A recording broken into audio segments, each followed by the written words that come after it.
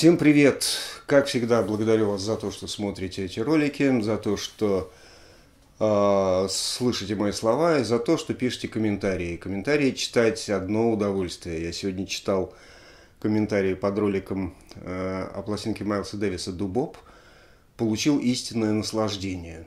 И вот о чем я подумал. Когда я читаю комментарии под э, роликами, посвященными э, тому или иному музыканту, а точнее даже не под роликами, а под, э, ну, под клипами, под там, альбомами да, каких-то определенных групп. И когда я читаю западные комментарии, они все очень позитивные. Я не знаю, почему так получается. Все, э, так сказать, пишут люди, которым нравится эта музыка, и они обсуждают э, ее, пишут, когда впервые услышали этот альбом, какое впечатление на них он произвел. А наши почему-то в 50% почему-то все все хаят, всем все не нравится, все плохо.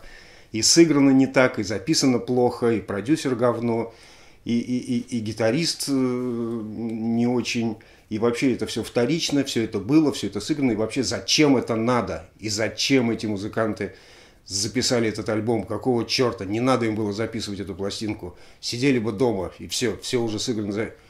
Что это такое, ребята, я не понимаю, почему вы отказываете музыкантам, во-первых, играть то, что им хочется, и записывать то, что им хочется. Вот захотели, придумали, отрепетировали, записали, выпустили альбом. Ваше право слушать его, не слушать его. Но почему музыкантам-то нельзя этим заниматься? Я вот никак не могу этого понять. Объясните мне где-нибудь, напишите, почему. Почему нельзя артистам играть собственную музыку? На ваш взгляд, почему вы решаете, что этот музыкант, ему хватит, он должен остановиться? Почему вы решаете это? хочется сказать, кто вы такие. Ну, действительно, ну что, с какой стати, ребята? Я не понимаю. И, э, конечно, сплошные баталии идут на тему современного так называемого прогрессивного рока. Я никого не хочу обидеть, я, заметьте, я с любовью все это говорю. Я вообще людей люблю, всех. Всех. Да. Так вот, на тему современного прогрессивного так называемого рока – я уже говорил, что я не люблю стилевые определения, использую их в этих роликах ну, для общения, для того, чтобы было понятно, о чем я говорю. Потому что я не использую эти стилевые все определения, когда я слушаю музыку для себя. Я вообще не разграничиваю музыку на тяжелый рок, не тяжелый рок, там прогрессивный, не прогрессивный. Я, я слушаю только музыку. Меня даже и название групп э, зачастую не интересует. Так вот, по поводу современного прогрессивного рока совсем все плохо. Совсем все плохо. В, в комментариях я имею в виду, что это все вообще не нужно, это все уже было сыграно, и это не нужно, не нужно, не нужно и не нужно. И слушать это нельзя, это скука, это плохо, и непонятно, зачем вообще это э, все делается. Выше я уже сказал, зачем. Затем, что музыканты хотят играть и играют. Больше ни зачем, я вас уверяю. И обнаружил я ролик свой собственный, посвященный группе Опет Sorcerers. Года два назад я рассказывал про эту пластинку. Ну, то есть, что значит рассказывал? Я свои впечатления там высказывал. И в этом ролике я обещал, что-то такое говорил, что поговорю и о следующем альбоме. Следующий альбом у меня тоже уже года три лежит, стоит, точнее, на полке, я его слушаю. Вот этот самый, вот этот, вот этот со сложным латинским названием, которое я никак не могу запомнить. Инкауда венинум. Венинум называется он, да. С трудом запоминаю его. Просто я когда я слушаю, просто беру с полки и слушаю, даже не, не читаю название. Яд в хвосте он переводится, с, насколько я знаю, дословно. Вот, а по-латински мне сложно. Я по-английски не очень э, говорю. Но ну, вот этот альбом, на мой взгляд, он еще лучше, чем Sorcerers.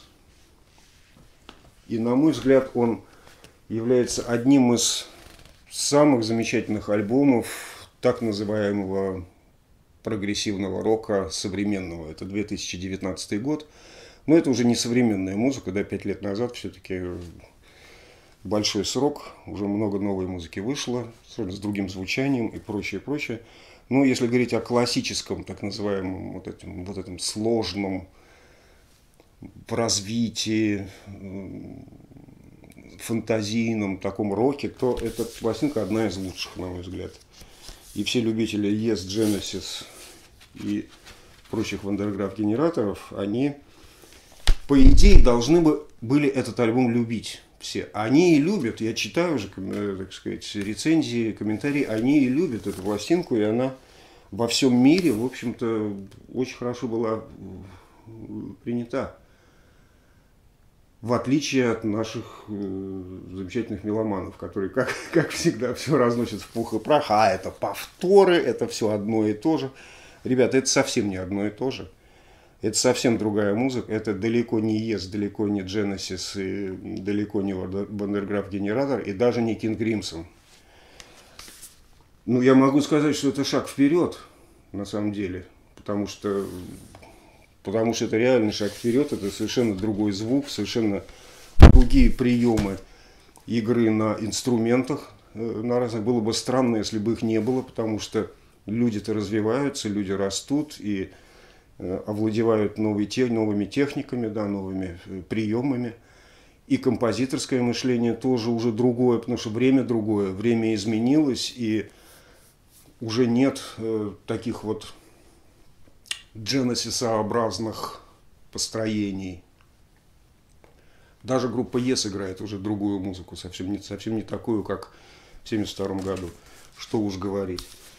Но это в чистом виде продолжатели того же направления. Сложного рока, который все время идет внутри себя вперед, все время ищет новые какие-то повороты, новые дорожки, новые тропинки, новые средства передвижения. Я бы даже роком это, в общем, уже не называл, потому что это просто музыка, это просто современная музыка.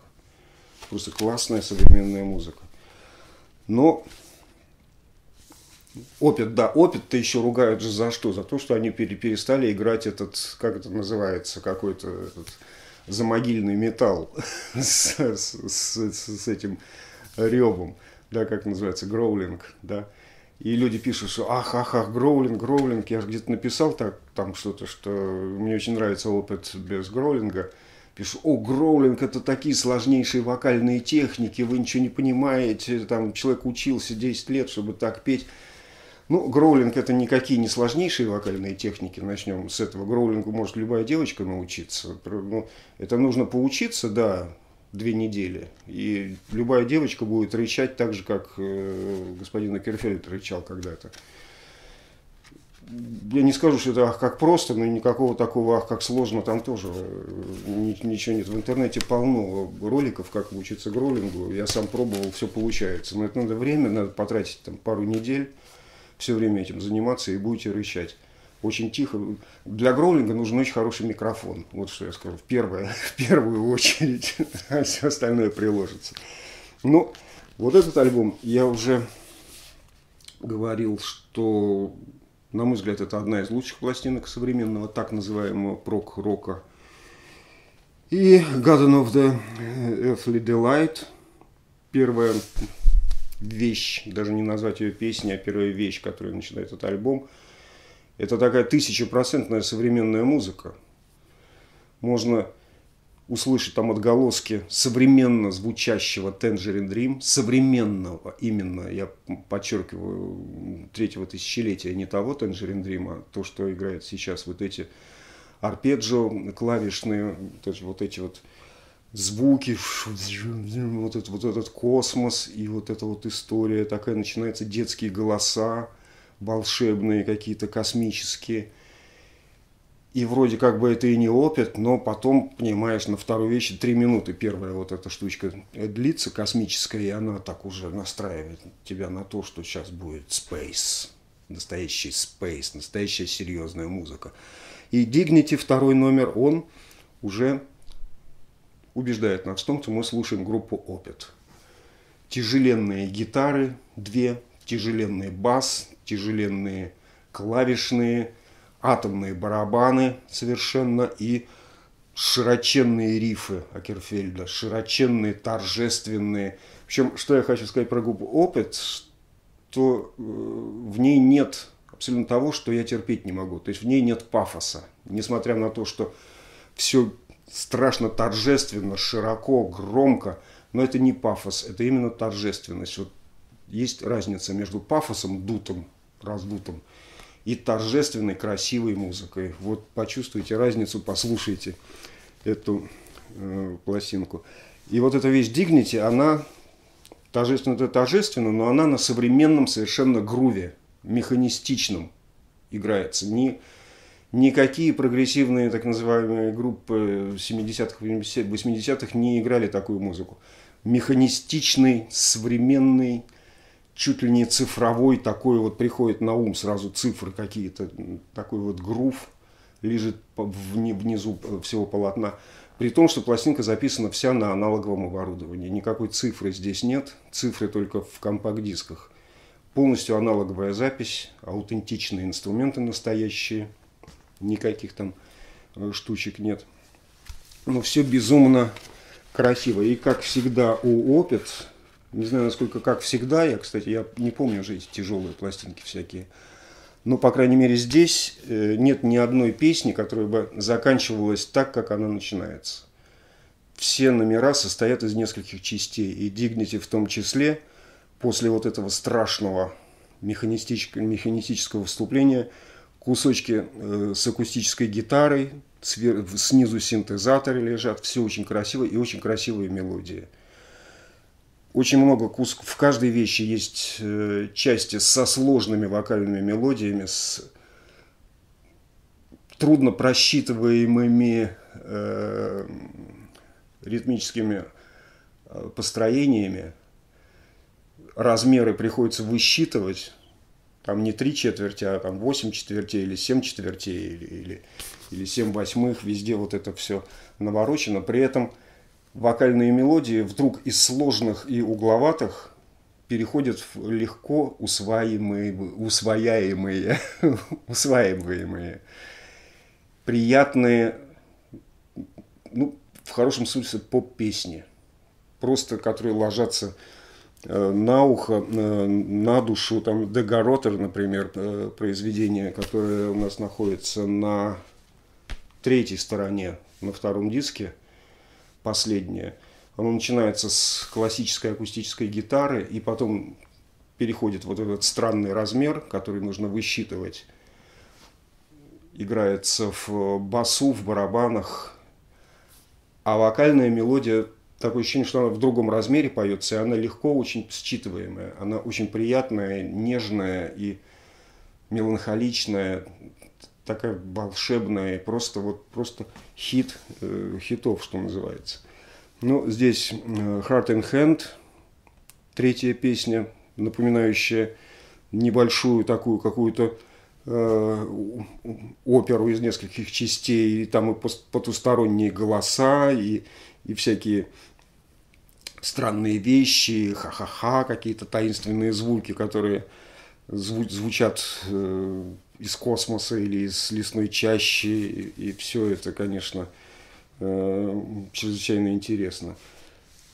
Мне очень нравится песня на первая на третьей стороне «Шарлатан», безумная, тяжелая, тоже начинается тоже таинственно, а потом переходит в то, что мы любим, в гитарный рок со сложными э, рифами, с широкими, как всегда, опит, громко, торжественно и не пафосно. И очень как-то все по-человечески сыграно, очень сыграно, придумано, написано. Очень как-то все от души, такое ощущение. Хотя музыка очень сложная, так если начать ее копать, там, там ох, ого-го, что наворочено. Uh, Universal Truth, следующая вещь после Э, шарлатана. Это вообще набор каких-то, в хорошем смысле набор мелодий средневековых с, с акустической гитарой, с синтезаторами, да, с перкуссиями, с чудесными звуками. Очень трепетно спето все. И вот играется этот кусочек, поется средневековый, потом бабах, начинается торжественная часть с прекрасными соло на гитаре электрической Акерфельда. Потом раз, опять начинается вот это вот средневековье. Все время не дает скучать. И весь альбом такой, настолько, он настолько хорош, просто поверьте мне, я много чего слушал в своей жизни, ну, плохого не посоветую, короче говоря. Вот эта пластинка опыт 19 года, вот такая, вот такая просто. Вот. Так что я пошел пить и еще разик послушаю сейчас этот альбом. Пока.